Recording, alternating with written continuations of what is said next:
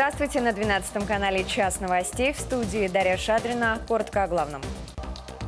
Тушат с воздуха. На север региона перебросили десантников пожарных. На границе с Тюменской областью горят леса. Наводили мосты под обстрелом террористов.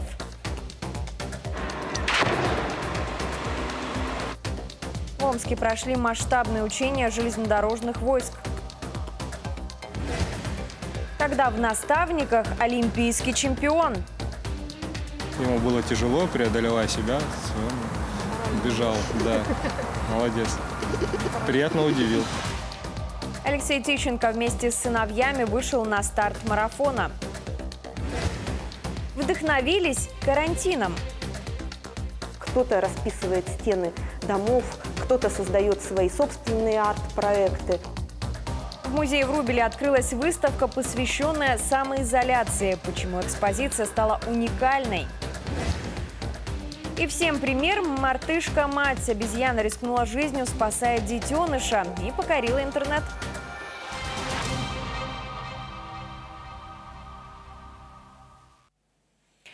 Север региона перебросили десантников пожарных. В Устишимском районе на границе с Тюменской областью горит лес. Огнем охвачены почти 110 гектаров. Здесь ввели режим ЧС. Для работы спасателей местность крайне сложная. Кругом непроходимые леса и болота. Проехать даже на спецтехнике невозможно. Поэтому было решено привлечь работников парашютно-десантной пожарной службы. На охваченную огнем территорию высадили 12 специалистов. Сейчас они практически вручную борются с возгоранием. К счастью, угрозы, что огонь перекинется на жилые районы нет. От очага села находится на большом расстоянии.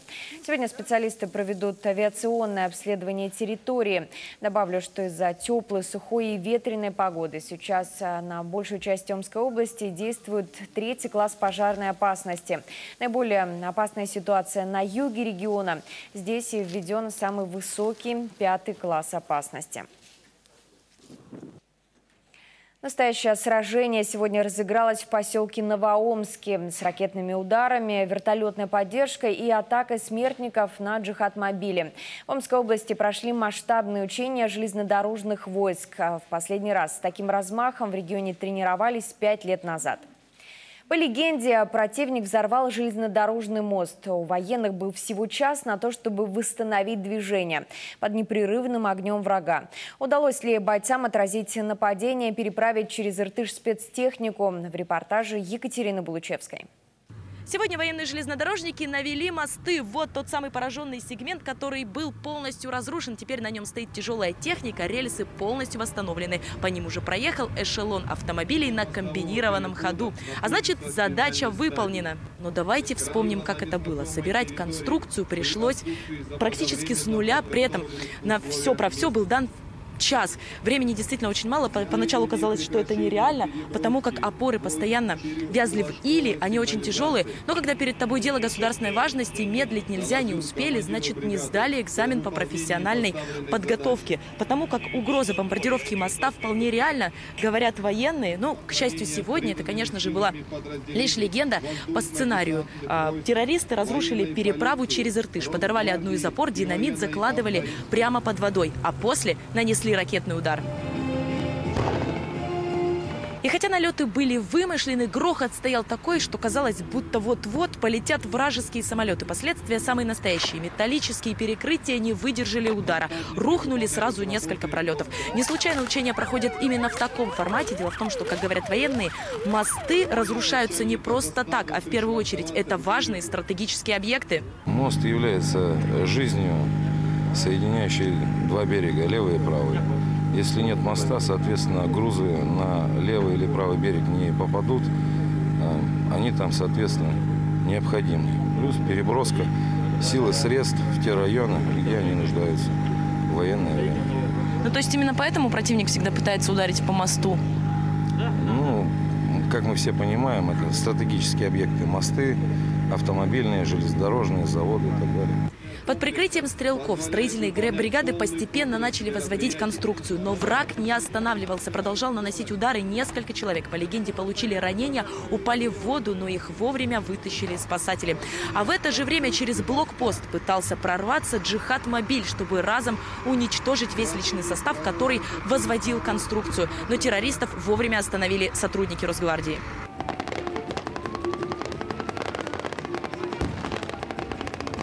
Когда атаки врага продолжали усиливаться, на помощь пришла и авиация. Сразу два штурмовика Ми-24. А вообще хочу отметить, что эти учения стали одними из самых масштабных. Э, подобных э, тренировок не проводилось уже пять лет. В учениях приняли участие почти 800 человек. Ну и, конечно же, по результатам обязательно будет выставлена оценка. Но тебя я бы, конечно, поставила все 10 баллов, потому что зрелище было очень эффектным и впечатление от увиденного мне хватит еще надолго. Екатерина Анна Булучевская, Сергей Гаврилов, 12 канал. И к другим темам. 119 новых случаев коронавируса сегодня зарегистрировано в Омске. Данные сообщили в региональном Минздраве. У 68 пациентов заболевание протекает бессимптомно. Общее количество заразившихся COVID-19 с начала пандемии составляет теперь 6643 человека. Выздоровели за последние сутки 92 жителя региона. Пополнилась, к несчастью, и скорбная статистика. Скончались три пациента. Но ну, а в целом по стране 5509 поставленных диагнозов COVID-19 излечились за сутки 9322 человека. Омские медики продолжают работать в круглосуточном режиме, делают все, чтобы остановить COVID-19. К героям нашего времени на странице в Инстаграме обратился глава региона. Александр Бурков записал видеообращение к работникам здравоохранения. Как отметил губернатор, пока статистика не радует. В день в Омской области регистрируется больше 100 заболевших. К счастью, большинство переносит болезнь бессимптомно. Кроме того, по данным медлаборатории, коллективный иммунитет постепенно растет. Главное не игнорировать масочный режим и социальное дистанцирование. Сегодня я хочу обратиться ко всем, кто трудится в Омском здравоохранении. К врачам, медсестрам, лаборантам, водителям скорой помощи и вспомогательному персоналу. Ко всем, кто, невзирая на усталость, мчится на вызов. Работает в красной зоне, посещает пациентов на дому, продолжает оказывать экстренную помощь и поддерживает санитарный режим – все вы настоящие герои. От всей души благодарю каждого из вас за то, что не падаете духом, не опускаете руки, за ваш профессионализм, терпение и доброту, которые дают нам надежду. Спасибо вам за это. Ну а медики, в свою очередь, просят и мечи о самом элементарном – соблюдать меры безопасности. Маски могут значительно облегчить труд врачей. Наши корреспонденты пообщались со специалистами, узнали, как сейчас обстоят дела в омских ковидных больницах. Подробный материал смотрите в итоговом выпуске «Час новостей» в 19.30. Всему виной беспечность. Мечи массово игнорируют масочный режим. Если в торговых центрах и аптеках без средств индивидуальной защиты попросту не обслуживают, то в транспорте дела обстоят иначе. Зачастую в салоне автобуса в масках можно увидеть лишь пару-тройку человек. Тем временем каждые сутки в регионе ставят больше сотни новых диагнозов COVID-19. По темпам прироста заболевших Омск уже занял 12 место в России. Город действительно не знает, что происходит в больнице. Город не видит это тяжелой борьбы медицинских сестер, врачей и не видит страдания десятков людей, которые сейчас очень тяжело переносят эту коронавирусную инфекцию. Из-за несоблюдения мечами элементарных норм безопасности врачи в красной зоне работают на износ. Многие уже несколько месяцев не были дома, а некоторые и сами стали пациентами ковидного госпиталя. Софья Халиулина расскажет, каким последствиям приводит человеческая безответственность. За отдых будут давать деньги. Туристы, которые проведут отпуск на отечественных просторах, смогут рассчитывать на кэшбэк. Программу разработали в правительстве и планируют уже в августе запустить проект. Ставку на новый вид отдыха сделали уже десятки турагентств. Среди них и омские. В регионе немало мест, которые могут поспорить со всемирно известными достопримечательностями. Спустившись сюда, словно переносишься в Аризону, даже не верится, что этот невероятный природный музей находится в Омской области. Глубина в 30 метров поражает и даже немного пугает для неискушенных перепадами высота мечей. Зрелище действительно очень эффектное. Не пересекая границ, можно отдохнуть и в Швейцарии, а на Омска тоже есть своя, в Муромцевском районе. Здесь же, по преданиям, находится и энергетический центр Земли, где побывать хотят паломники со всего мира.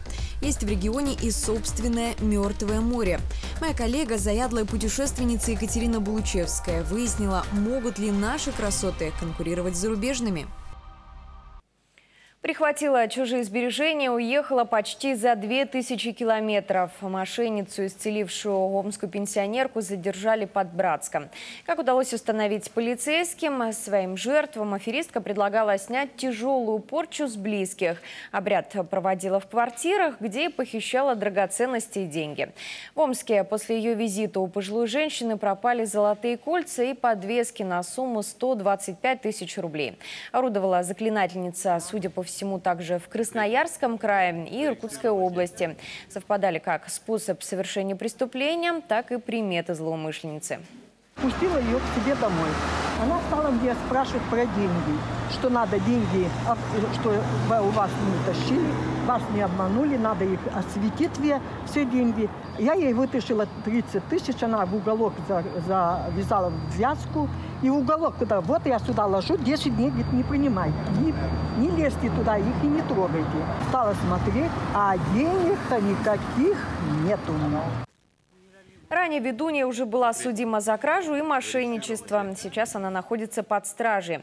Правоохранители устанавливают точное число пострадавших, в том числе и в Омске. Тех, кто стал жертвой лжецелительницы, просят обратиться в полицию.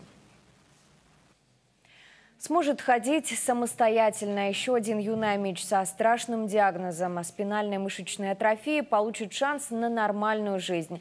Мальчик попал в число пациентов, которым бесплатно проводят дорогостоящее лечение. Речь о препарате, одна ампула которого стоит 8 миллионов рублей. На курс требуется несколько. Приобрести лекарства многим практически не по силам. В этом году деньги на уколы выделили в региональном Минздраве. И сегодня врачи приступили к лечению одного из малышей. Анна Кокорина продолжит. Когда Никите Потемкину исполнилось полтора года, родители забили тревогу. Ребенок слабел на глазах, ножки сковал паралич. После долгих исследований врачи поставили диагноз – спинально-мышечная атрофия. Сейчас Никите 5. Все это время семья борется за то, чтобы малыш мог нормально двигаться. Затормозить развитие болезни может дорогостоящий препарат. Стоимость одной инъекции – 8 миллионов рублей. А таких требуется несколько. Средства на лечение Потемкиным выделили в региональном Минздраве. Если бы мы этот препарат не вводили, то в дальнейшем бы все усугубилось, потому что это, к сожалению, прогрессирующее заболевание, и оно уходит в минус. Поэтому я надеюсь, что э, при введении этого препарата при введении этого препарата мы остановим наше прогрессирование. И если Никиточка, конечно, нас научится еще что-то больше ходить, или у него появится еще больше сил, то мы обязательно будем пить чай за здоровье его, да, Никита? Угу. И очень радоваться. Прогрессирует болезнь очень быстро. Половина детей не доживает и до двух лет. Другие редко до 20. Мышцы у Никиты пока не совсем ослабли. Он может ходить и держать ложку. Если вовремя ввести препарат, течение болезни можно замедлить и даже надеяться на улучшение состояния. Сегодня врачи областной детской клинической больницы сделали маленькому пациенту первую инъекцию. Оценка действия препарата проводится в течение ну, определенного времени – и мы надеемся, что данный метод лечения принесет свои положительные результаты. Сейчас в Омске семь детей с подобным диагнозом. Четверо из них под наблюдением медиков. Для того, чтобы не дать болезни одержать верх, проходить лечение нужно на протяжении всей жизни, как минимум три раза в год. Суммы огромные. Только для маленького Никиты на первом этапе потребуется около 50 миллионов рублей. Деньги выделят из бюджета Омской области, и уже через год мечта мальчика, возможно, осуществится. Он часто говорит, мама, купите мне велосипед, я буду кататься на велосипеде. Мы обязательно ему обещаем, говорим, конечно, конечно, Никиточка, сейчас как только ножки окрепнут, мы обязательно тебе купим велосипед и будем кататься, да? Анна Кокорина, Анастасия Вишова, Павел Маджос, 12 канал. Вместо тренировки на ринге вышел на пробежку. Двукратный олимпийский чемпион Алексей Тищенко поддержал сибирский международный марафон. Боксер преодолел трехкилометровую трассу в Птичьей гавани вместе с сыновьями Степаном и Семеном. Идти на рекорд парни не стали, бежали в свое удовольствие. Как тебе, тяжело было? Расскажи. Ну нет, ноги только устали. А у меня просто ноги болели, и я не мог бежать, но все равно а я на побежал. Ему было тяжело, преодолевая себя, бежал, да. Молодец. Приятно удивил. А Семен, ну ты-то уже старший, ты поэтому я в тебе не сомневался, что ты пробежишь. Как и семья Тищенко, медали за участие в дистанционном забеге получили три сотни мячей. Выйти на старт онлайн-марафона планируют еще полторы тысячи атлетов. Регистрация идет как на сайте проекта, так и в Омской крепости. Здесь бегунам выдают комплекты участника, а также награды за уже преодоленную дистанцию. Пробежать трешку можно где угодно. Главное зафиксировать свой результат при помощи мобильного приложения и отправить его организаторам СИМа. Живопись, диджитал-арт и даже граффити. В музее имени Врубеля открылась выставка «77 дней», посвященная карантину. Именно столько в Омске длилась самоизоляция. Художники успели не только создать новые шедевры, но и в корне переосмыслили свое отношение к искусству. Впервые в истории музея в проекте участвовали не только члены Союза художников, но и свободные творцы. Елена Бабкова пообщалась с участниками выставки и узнала, как карантин раскрыл творческий потенциал омских мастеров. Карантин посвятил творчеству. Кисточку из рук Михаил Рубанков не выпускал все 77 дней изоляции. Говорит, такое затворничество даже пошло на пользу. Художник успел не только создать новые шедевры, но и в корне переосмыслил отношение к искусству. Я стал ближе к себе, э, я стал честнее, наверное, с собой и откровеннее.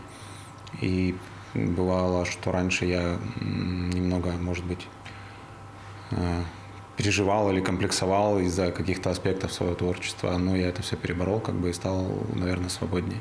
На полотно «Курьер» мастера вдохновили доставщики еды с желтыми рюкзаками.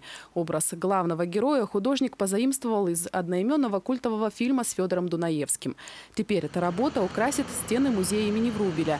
Всего экспертами были отобраны работы 42 мастеров. По словам организаторов, все они нестандартные, многие далеки от академических канонов.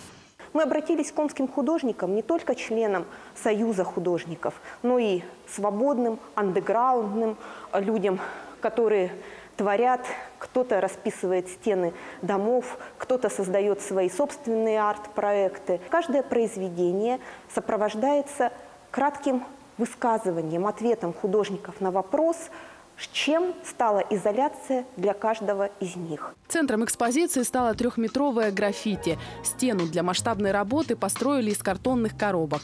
Сам рисунок художники создавали уже в музейном зале во время монтажа остальных произведений. А это около 60 работ. От миниатюрных холстов необычных форм до масштабных полотен. Среди них графика, живопись, диджитал-арт и современная фотография. Ну а открыл выставку танцевальный перформанс. Увидеть же саму экспозицию можно будет в социальных сетях, а когда снимут ограничения для музеев, омичей ждут уже в выставочных залах. Елена Бабкова, Софья Халиулина, Денис Лопарев, 12 канал. Нырнула в колодец за детенышем. Удивительную историю спасения заснял офицер индийской лесной службы. Малыш обезьяны угодил в колодец. Благо воды в нем и не было, а вот высокие гладкие стены не позволили крохе выбраться самостоятельно. На помощь пришла мать. За край колодца обезьяна зацепилась хвостом и задней лапой. И не без усилий вызволила детеныша из плена. Видеоролик уже набрал больше 20 тысяч лайков и одобрительных комментариев. Многие рекомендуют людям брать брать пример с мартышки, приходить друг другу на выручку.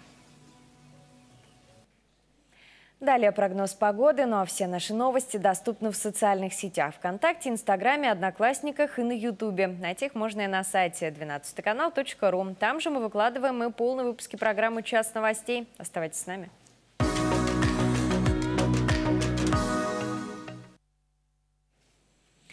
О погоде завтра, 31 июля, в Омске облачно, возможен дождь. Температура воздуха в ночные часы 12-14 градусов тепла, днем до плюс 26. В районах пасмурно, дожди. Столбики термометров покажут ночью 11-12 градусов, днем плюс 15, плюс 18. Ветер юго-восточный 7 метров в секунду, атмосферное давление 750 миллиметров ртутного столба. У меня все новости к этому часу. Итоги дня подведем в 19.30. До встречи.